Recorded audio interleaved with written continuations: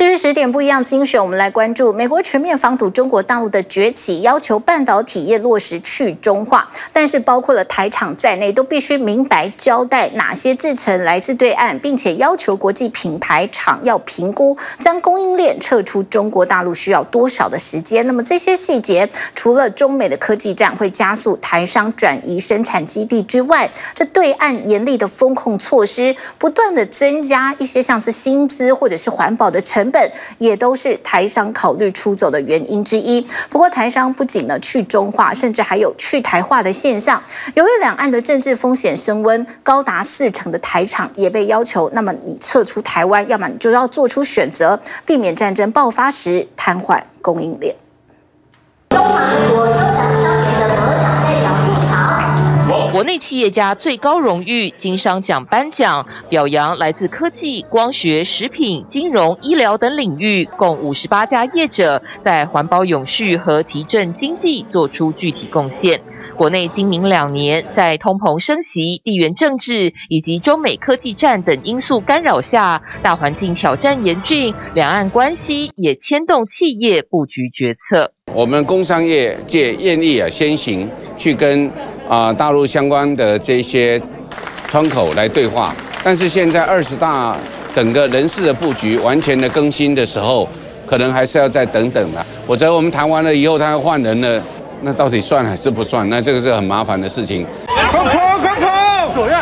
上海迪士尼紧急封闭，上千名游客得做 PCR 确认阴性才能离开。中国大陆暴力式清零，商业服务和工业生产动辄停摆或断链，更加深部分台商出走决心。根据美国华府智库战略暨国际研究中心 CSIS 所做的最新调查指出，有百分之二十五点七的台商已把部分生产或采购业务撤出对岸，百分之三十三点二的台。商正在考虑。专家分析，在多种因素驱动下，的确会强化迁徙意愿。除了这个地缘政治的理由之外，这个台商在中国经营也有很大的问题，因为中国现在人口红利不在，成本提高，那这个然后对于环保有非常严格的要求，所以台商在这个情况之下，他也愿意离开。最后一个理由是中国的民营企业的竞争，台湾台商以前很有竞争力，但中国大陆现在也也起来了，所以基于以上种种理由，台商移出中国是必然的。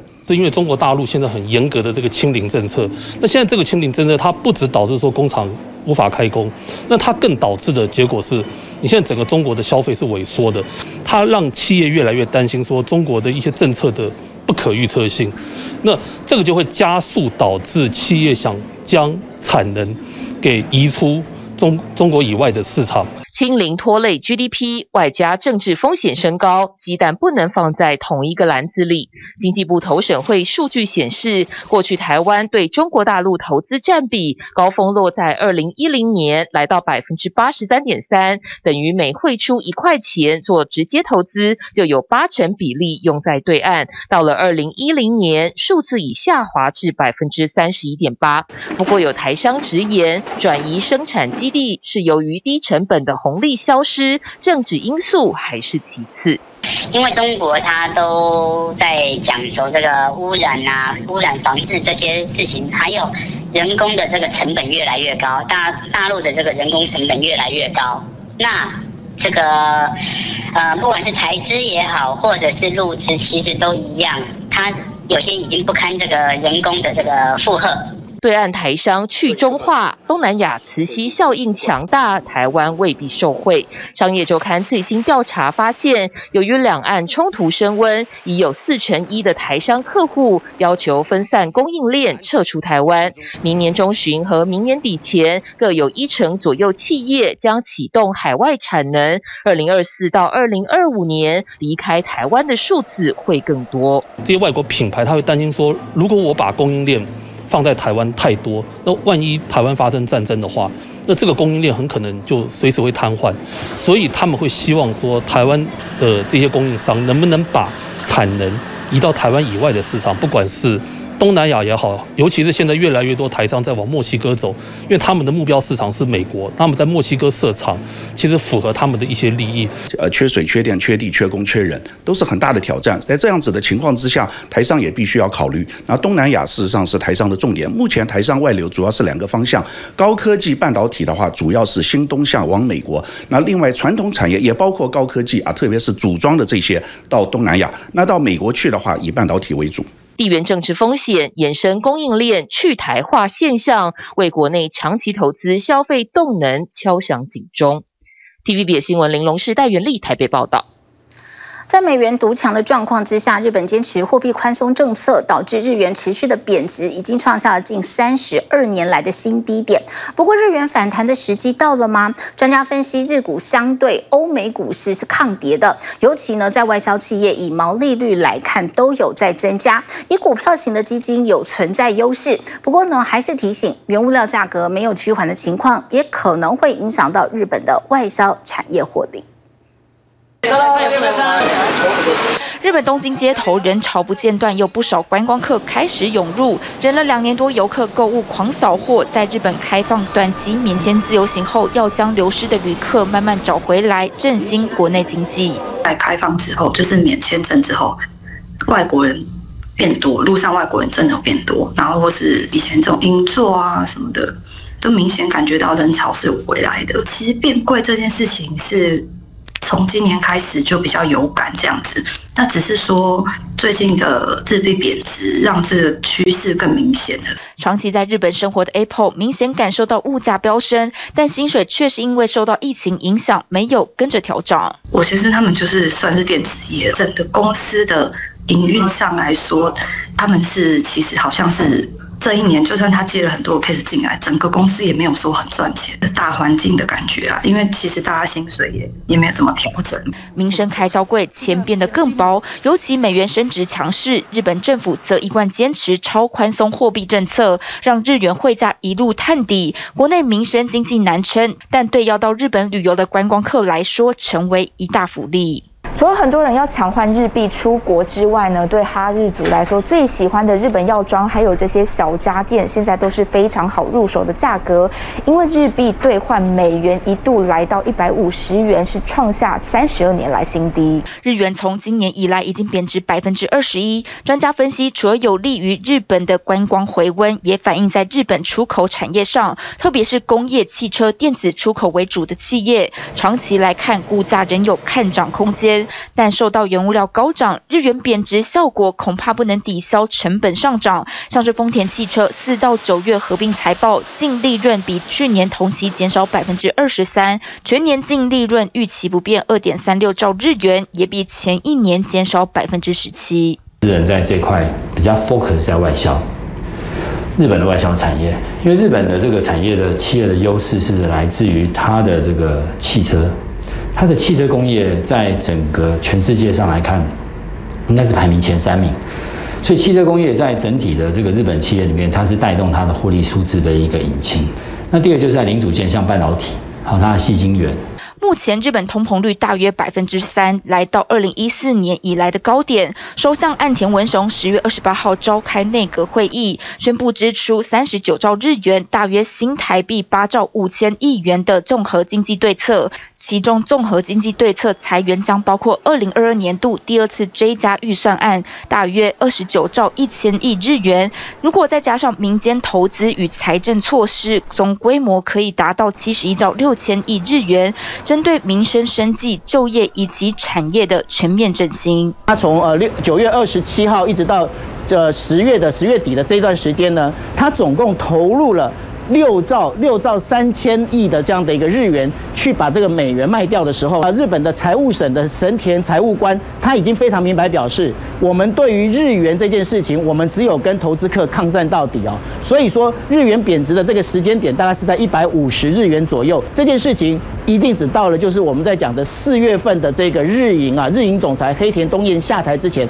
会维持这个状况，但是四月过后会不会是这样的状况就不知道了。你可能在这个 moment 来看。呃，整个全球股市进入一个熊市，反而在雅股部分的日股，你会发现它这个地方相对抗跌，然后是会吸引一些投资人进场来做一些捞底的动作。呃，日本的股市它是因为贬值的关系，然后它在外销企业的这一块，其实让它的毛利率增加非常的多，也使得说，呃，目前日本在做这个市调的过程里面，有九百家的公司，百分之七十的这个获利数字都是超乎预期的好，所以在整体投投资这个日本市场上来看，我讲的是就日本基金的角度上来，股票型基金，其实它是有一些优势的。后疫情时代，各国力拼经济复苏，尤其在美元独强之下，非美货币贬值不断破新低。专家强调，日本股市跌幅幅度相对欧美小，将有望成为成熟市场的投资新星。TVB 新闻黄振森、刘军台北采访报道。房市到货潮是不是要来了呢？专家从七大指标预测说，三个月之内呢，会有五个县市的房价将下滑。再把时间交给作何。好，现在这个房市的倒货潮是不是要降临了呢？我们就来看到有哪些的指标，大家可以特别的来关注。其实会诊九月份的中古屋交易价格指数就预测到说，在未来三个月，包含了台北、高雄、新竹、台中以及台南，这个房价的部分将会下滑。在多空交杂的情况之下呢，到底是不是房市出现了倒货潮了呢？就有七个指标可以来做预。预测，首先第一个就是供给有没有短缺或是量增的情形。那目前来说是没有短缺的。再来是是不是买卖的交易有变少？目前是确立了量缩的格局。还有就是成交单价是不是向买方移动？确实现在有一些是有松动的，不过这个还要长期的来观察。还有就是市场有没有降价求售，以及销售的天数增加溢价率幅度是不是有升高？还有就是过去有被视作是铁板一块的预售屋，是不是有进行一些调整？以及最后一个就是房市的税收是不是因此而减少？那当然了，因为这个价格的部分不会立即反映在这个数字上，不会实价立刻就来看得出来，所以不管是自住啊、首购族啊，最好呢也是可以先观察两到三个月。好，那么继续就来看房市。说到了房市，其实呢，台股的影响也很大，主要就是因为台股今年屡创新低，造成房市的买气急动。主要都会区的购屋人潮当中，又以新竹人的购屋自备款亏损比率是最高的，对于竹科新贵年轻购屋族群影响尤其大。当然就会影响到买房子的意愿，越来越多人就呈现归观望的态度，也使得房市的成交量呢就逐渐的萎缩。但是尽管新竹房屋的买气急，动，但是房价也没有因为这样子而走跌。其实这个鱼我蛮喜欢的，个人。因为看出去那边整个对面右前方就是新竹市的旧市区啊，新竹市政府也在那个方向，那园区就是在左前方那个方向。位在头前溪水岸第一排，难得的河岸景致。竹科工程师 Kevin 八年前购入竹北市豪宅聚落区，相当重视生活品质。比起传统公寓，他更喜欢住大楼，尤其是学区宅。因为我本身是从事半导体业。所以那购物考量当然是就近园区，那去客户那边也方便。所以这个地方因为它离交道很近，开车到园区约十分钟就可以抵达。所以当初也是购物考量。那至于学区的话，那其实这边学区也算相当不错，因为这边是属于成功学区。那成功学区的话，它的升学率基本上应该在全国也是排名前几名。蛮素的啦，蛮简单。当初装潢都是我老婆自己处理，因为。厨房女孩子比较喜欢，比方说这柜子也是当初我老婆她自己请设计师来设计的。那收藏的东西基本上都是老婆自己挑的。当初花了三千多万买到百平房子，与太太一起布置完成心目中家的样子。他也发现这几年竹科工程师新移民变多了，增加了买房的刚性需求。竹北这边包括新竹人口一直迁入，那这几年几乎是一屋难求。那最主要是因为园区的人口数大量的成长，比如说二十年前园区的从业人口将近十万人左右，那现在已经逼近今年将近逼近到十七万人口。那其实买房子在这一区，包括那个关埔以及竹北，他们买房子之后，并没有后悔，因为觉得房价还是整个还是持续往上成长。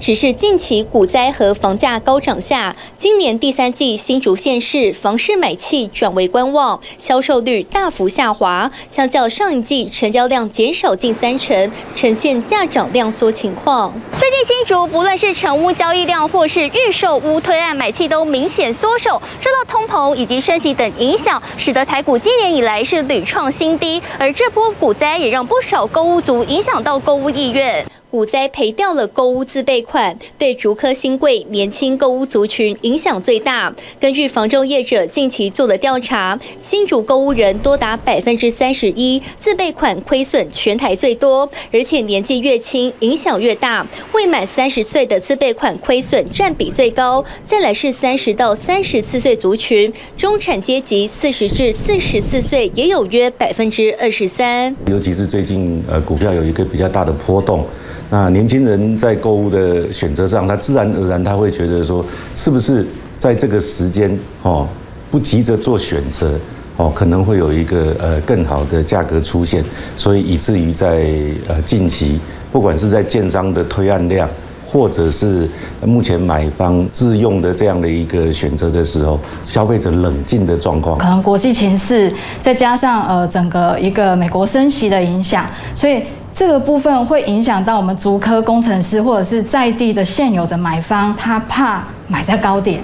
那现在这个情况其实是他是在整合。然后甚至是呃再做一个盘整。新竹房屋买气急动，但房价却没有因此走跌。根据第三季国泰房地产指数统计，新竹县市推案每平成交价四十九点七万元，季增百分之二十一点二五，年成长百分之八十四点二六。像是竹北市每平单价就来到五十四点三九万元。房仲专家指出，新建案价格持续攀升与三大因素有关，就是原物料。前阵子涨价，目前也还没有呃回温的一个状况。那第二个状况就是市场上的刚性需求，毕竟你是外移人口比较多的城市，那自然是市场有这样的一个需求的时候，它价格哦易涨难跌的状况。那我觉得那个第三个就是，我觉得持有房地产的人，哦，或者是未来想想要持有房地产的人。他们都还是觉得说，诶，经济面临通货膨胀这件事情是难以避免的事情，所以此时不买，哦，未来一定更贵，自然而然是会比较难有一个大幅下滑的一个现象。主科人买房脚步虽然相较去年同期放缓许多，资金面的确出现不少亏损，但这也让房市回归冷静与理性。TVBS 新闻陈建明、刘彦轩新竹采访报道。